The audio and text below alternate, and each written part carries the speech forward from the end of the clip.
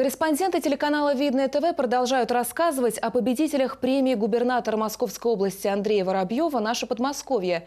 На этот раз в объектив нашей телекамеры попала Наталья Калинина с проектом «Инспекторы-волонтеры. Проверь, товарищ, правильность факта».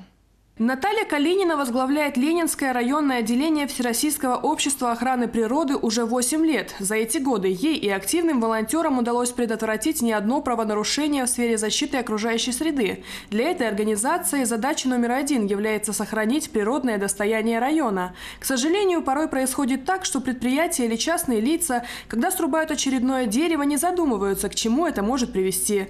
В своей работе общество взаимодействует с полицией, Ростехнадзором и администрацией организаций, но этого недостаточно.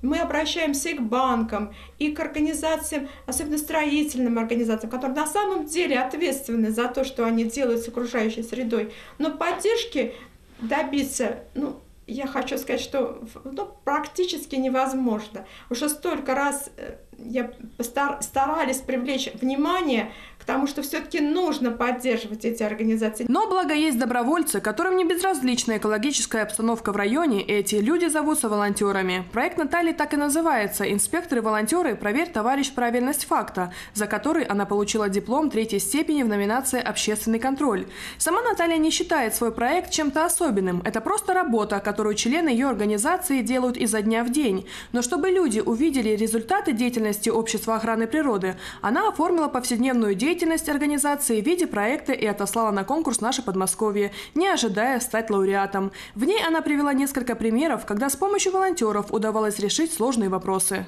Люди должны задумать, что они делают. Поэтому эта премия, она, конечно, э, в большей степени, чем все что-либо другое, вот, способствует э, именно об общению людей, обобщению вот этих вот их мыслей и надежд на то, что мы можем сами чего-то добиться. Большую роль в деятельности общества охраны природы играет активность обычных граждан. Если на ваших глазах происходит незаконная вырубка деревьев, порча земли, уничтожение животных, загрязнение источников воды, собирайте подписи о правонарушении, а далее связывайтесь с Натальей Калининой, которая вместе с остальными волонтерами поможет устранить проблему. Юлия Погосян, Александр Ильин, Наталья Буслаева, Видное ТВ.